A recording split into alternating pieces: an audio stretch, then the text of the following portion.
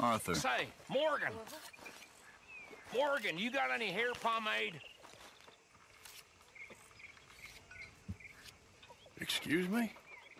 You know, hair pomade. No.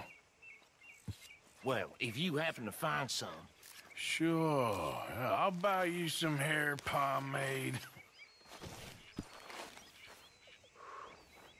Why are you staring at me like that? Sorry, uh, don't know what's with me today. Is that what you call a sense of humor?